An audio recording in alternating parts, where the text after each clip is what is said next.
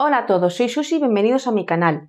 En este vídeo vamos a aprender a hacer conversión de unidades cuadradas, aquellas que utilizamos cuando trabajamos con las áreas.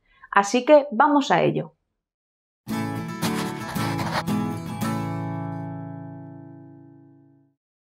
Cuando trabajamos con las áreas estamos trabajando con las unidades de longitud al cuadrado. Os recomiendo que veáis el vídeo de convertir unidades de longitud sin más, ¿vale? Lo tenéis en la caja, pinchadlo, lo podéis ver y luego podéis ver este, porque lo vais a entender incluso mejor.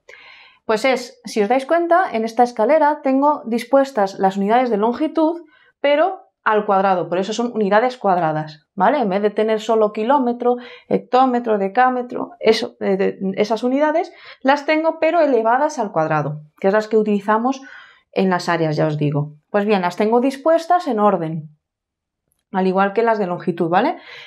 Eh, en orden descendente, ¿vale? De mayor a menor. La principal es el metro cuadrado y en torno a ellas funcionan las demás. Pues bien, ¿cómo se trabaja entonces en, eh, cuando quiero convertir estas unidades? La diferencia con la conversión de unidades de longitud sin más es que en cada escalón, en vez de multiplicar o dividir por 10, se hace por 100, ¿vale? Porque es la unidad al cuadrado.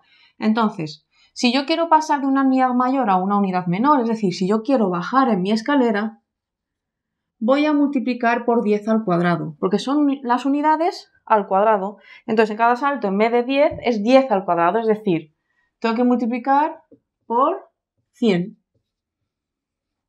¿Vale? Y si quiero ascender en mi escalera en cada puesto, tengo que dividir entre 10 al cuadrado, es decir, entre 100.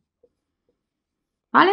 Entonces, funciona igual que la escalera de unidades de longitud, pero elevando al cuadrado el 10, ¿vale? Entonces, en cada puesto, en vez de por 10, pues es por 100. En vez de entre 10, es entre 100, ¿vale? Pues vamos a ver en la práctica en qué se traduce eso. Tengo aquí 25 metros cuadrados.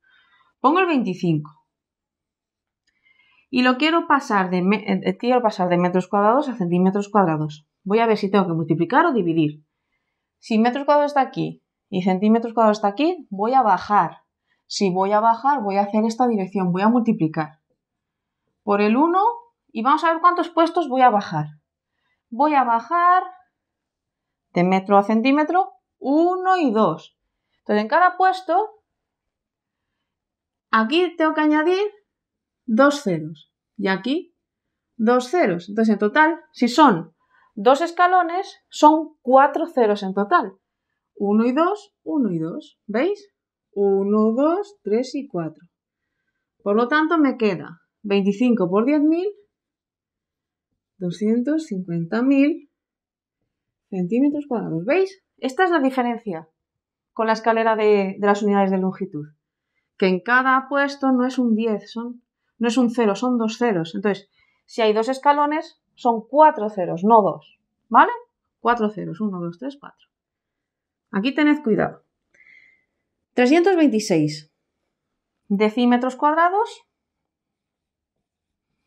a hectómetros cuadrados. Quiero pasar de aquí a aquí. Voy a subir. Si subo, tengo que dividir. Y ahora vamos a ver cuántos ceros tengo que añadir. Dividir de decímetro cuadrado a hectómetro. Venga. 1, 2 y 3. Son tres escalones. Si en cada, en cada escalón añado dos ceros, 2, 4, 6. 6 ceros.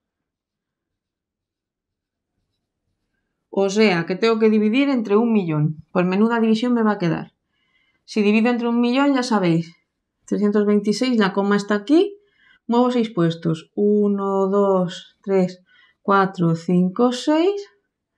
Pues me queda 0,1, 2, 3. ¿Vale? 0,0000326 hectómetros cuadrados. ¿Vale? Un número bastante pequeñito. Entre un millón, ¿veis? ¿Por qué? Porque eran tres saltos 1, 2 y 3 y en cada salto dos ceros.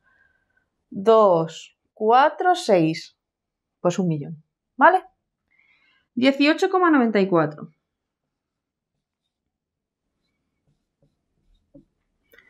De kilómetro cuadrado a decagramo. Bajo. Si bajo, multiplico. Por 1 y a ver cuántos ceros tengo que añadirle. ¿Cuántos escalones hay? 1, 2. Si en cada escalón hay dos ceros, 2, 4. Por 10.000. Si multiplico por 10.000, muevo la coma 4 puestos. 18,94. Si la muevo 4 puestos son 1, 2, 3 y 4. Es decir,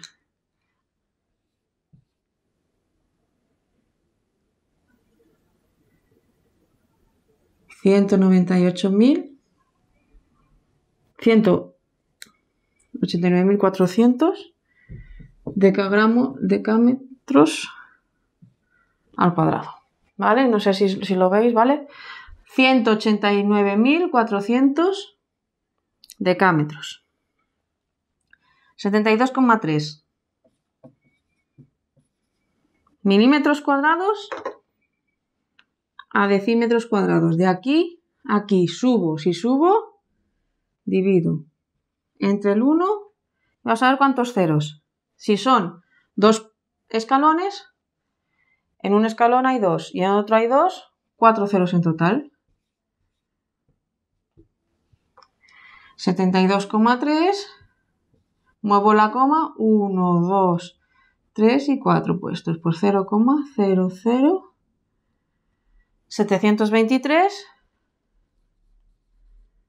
decímetros cuadrados. ¿Vale?